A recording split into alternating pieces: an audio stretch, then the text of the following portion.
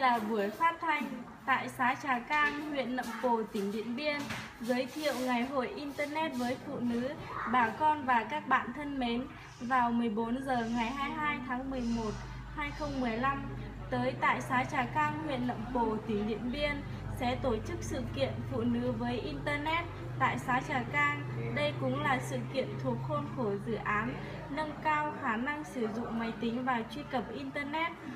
công cộng tại Việt Nam do quý Bill and Melinda Gates tài trợ trong điều kiện đất nước đổi mới và phát triển. Vì thế, vai trò của người phụ nữ đã được nâng cao lên rõ rệt, bình đẳng giới ngày càng được chính quyền các cấp từ trung ương đến địa, đến địa phương ngày càng quan tâm. Ở nông thôn, vai trò của người phụ nữ càng thể hiện rõ khi họ chiếm họ chiếm số đông trong dân số